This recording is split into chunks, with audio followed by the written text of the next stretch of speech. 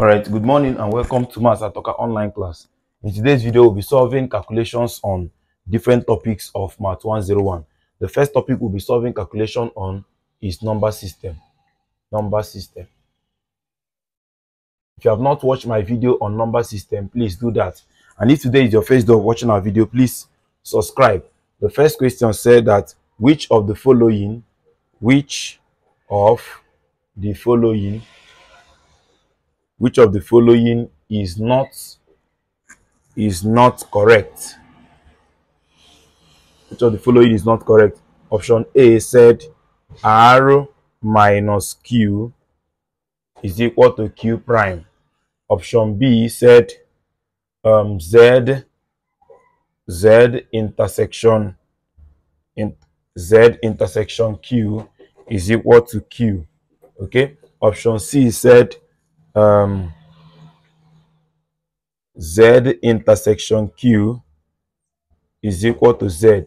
Then option D finally said Q union Q complement is equal to what? R. Okay. Now, solution.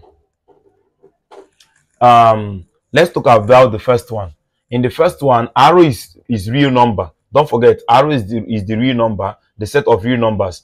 Q are the set of um, rational numbers. Q prime are the set of irrational numbers. Z are the set of integers. Y n n is not here, but n is set of natural numbers. So, but I don't don't forget I told you in my video on number system that if you combine the rational and irrational numbers, okay, you are getting the real numbers. So automatically you see that okay, sorry, this is the rational number. You can represent it with this or this. They are the same thing. All right. So if you combine the rational and the irrational number, you're getting the real numbers. So this is correct. This one is correct. This one is correct. How do I mean by this one being correct? If you look at this now, union in mathematics means plus. So which means Q plus Q complement is equal to R. So if I want to make Q complement subject of the formula, you now see that Q complement is equal to what? R minus Q. I get it. So you see that these two are, are the same. Okay? They are very, very correct. So now let's talk about the remaining two. For the remaining two, don't forget that uh, that Z, Z is a subset of Q. That is, Z is inside Q. Okay. Now, the union, the union of a small set and a big set is the big one. Look at that. So Z union Q. Now look at this. This is smaller than this because this is found inside here. So the union of a, sub, a small set and a big set is the big one. But the intersection of a small set and the big set is the smaller one. I get this now. So if you look at this now, they say that Z intersection Q is Z. So the correct answer is B. So B is the one that is not correct because they say they say which of the following is not correct. So B is not correct because the intersection of uh, a small set and a big one is the small one. So that is that. Question number two. Let's look at question number two. Question number two said, question number two said, which of the following again which of the following which of the following is false? That is not correct as well. Which of the following is not correct? A they say that n is a subset of q and q is a subset of r. Okay? Option b said option b said that n is a subset of z which is a subset of q which is a subset of r. Okay? Option c option C said um, option C said that Q is a subset of option C said Q is a subset of Q, which is a subset of N. Option D said that Z Z is a subset of Q, which is a subset of R, which is a subset of C. Right? Please know the difference between subset and C. This is C. Now, don't forget that what um, look at the summary I gave you. If you can remember in my video on natural uh, number system, I gave you a small circle like this, call it N. Then covering that N is what? Z. The natural numbers. Then covering the, the integers, this one is the integers, is Q, the rational numbers. Covering the rational numbers are the real numbers. Then finally covering the real numbers are the complex number. So what does it mean that N is a subset of Z, which is a subset of Q, which is a subset of R, which is a subset of what? C. So look at this now. Option A is correct because n is a subset. If n is a subset of this, subset means you can see it inside that set. You will look at this now, you see that N is found inside of Q, so it's correct. And then Q is found inside of R, so A is correct. I get it now. Now look at this one now. Um, N is found inside of Z, correct? And Z is found inside of Q, correct? And Q is found inside of R, so B is correct. Now look at this now. They say that Q is a subset of Q. Uh, a, a set is equally a subset of itself anyway. But the problem is that they equally say that Q is a subset of N. Q cannot be found inside of N. So you see that the one that is false here is option C. So this is the correct answer here. So if you look at this one and they say that Z is found inside of subset means found inside of. So Z is found inside of Q, Z is found inside of Q. Correct. Q is found inside of R, Q is found inside of R. Correct. And then R is found inside of C and R is found inside of C is correct. So the correct answer here is option C. Option C is the one that is false. All right. So let's move to the next one. The next question on this. So the next question here, question number three. Question number three said, um, which of these, which of the following again, which of the following is not correct?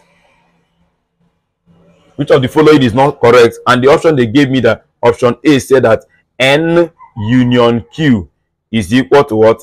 R. Option b said that uh, q intersection z is equal to z. Option c said uh, n intersection q prime is equal to an empty set. Uh, option d said option d said uh, Option D said N union Z is equal to Z. So don't forget I told you that what? That the union of a, a small set and a big one is the big one. Alright? Look at these two now. Let me start from here. Q is bigger than Z. Look at it. Q is bigger than Z.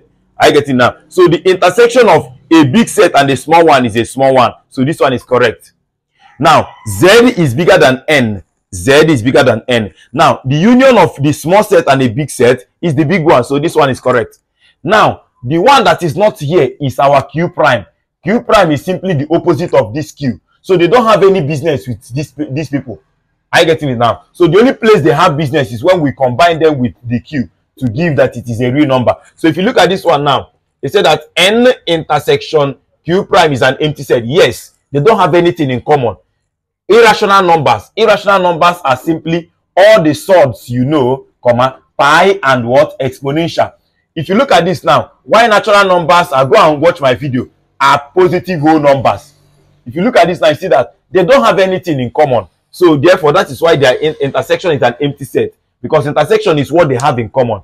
Okay? So if you look at that you now see that the only one that is a false is a uh, option a. So the answer here is what option A because the union of this and this supposed to give me the big one. The union of the small set and the small set supposed to give me the big one. So not R. I getting it. So question number four. So the only one that is not correct here is option A. So question number four said the number the number square root of minus 2 is dash A option. They said rational numbers rational numbers. B, they say complex numbers. C, integers. Then finally D, the real numbers.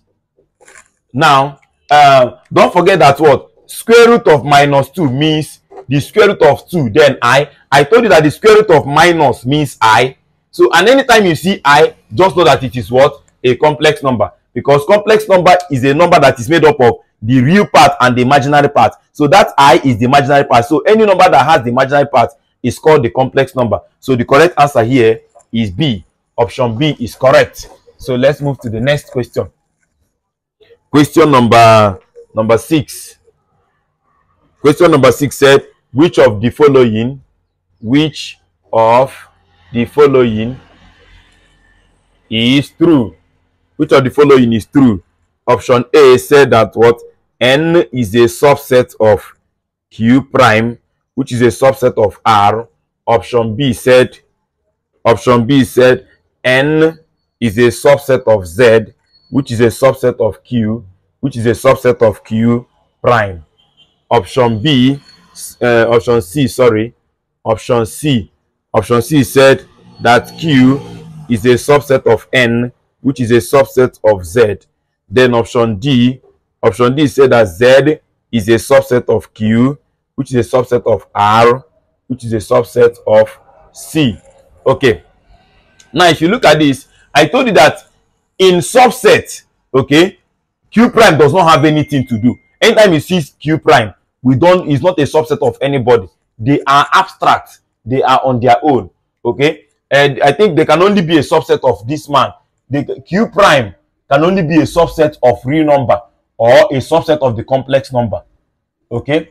So only these two that they can be a subset of. If not, they cannot be a subset of anyone. Anyone. So they say that n is a subset of this, which means can n be gotten from uh, this? Does this have anything to do with this? Can you get these numbers from here? No, it's not possible. So this one is out. Okay. Now they say that n is a subset of z. Yes, this is found inside of this, correct? And this is found inside of this, correct? But this one is not found inside of this one. So that is what spoiled this one. So this one is not correct. So let's look at this one. Q is a subset of N. Is Q found inside N? No, it's not possible. But look at this one now. This one is the correct one. So the answer here is D. Why? Because Z is found inside of Q and Q is found inside of R and R is found inside of C, like I showed you here. All right? It's very, very simple to note. So question, do we have any other question here?